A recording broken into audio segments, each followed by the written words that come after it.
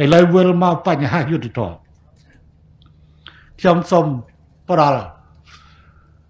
ដូចអ្វីដែលអាយដាមកើតរត់បានលើកឡើងកិច្ចការដែលត្រូវខិតខំ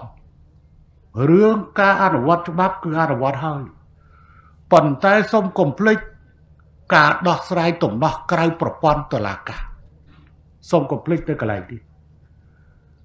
ព្រោះនេះ ជាផ្នែកមួយនៃការដោះស្រាយដោយការយោគយល់គ្នា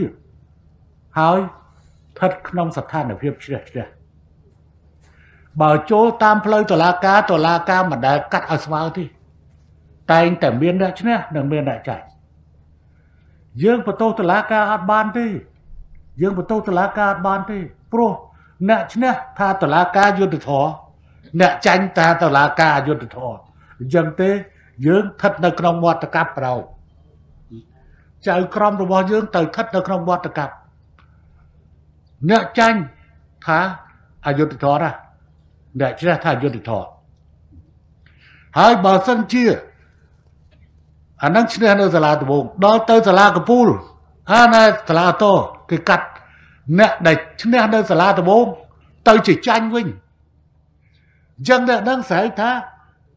អយុត្តិធម៌ ដល់ទៅសាលាកពូល អ្នកនឹងបែរជាឈ្នះ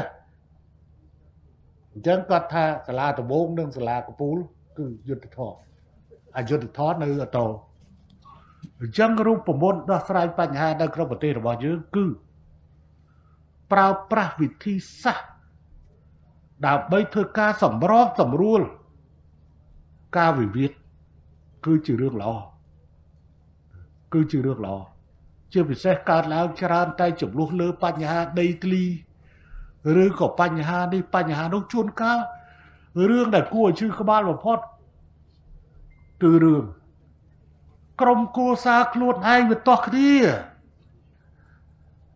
ឥឡូវនឹងចុះផ្សាយប្រងព្រាតកើតឡើងរួចហើយពេលខ្លះបង្ហោះ Facebook ឥឡូវចង់លេងបង្ហោះលេងហ៊ានបង្ហោះបង្ហោះទៅ ទី1ចេញមកសម្ដេចសង្ហាណាស់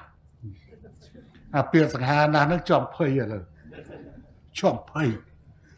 ប៉ុន្តែមានរឿងច្រើនណាស់ហើយរឿងហ្នឹងដល់មើលទៅ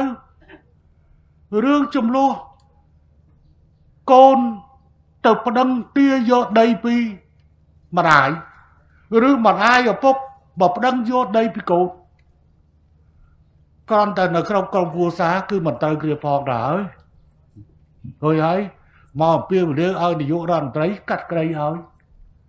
ថាគាត់បានចាញ់ក្តីនៅនេះអយុធធម៌ណាសូមឲ្យសាររឿងឡើងវិញជ័យចុះ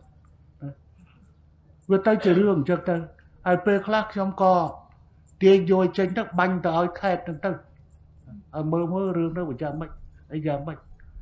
ប៉ុន្តែគឺមិនមែនបានតែគេថាយើងមិនចំបង្ហោះ Facebook ប៉ុន្តែថ្ងៃណាក៏ Facebook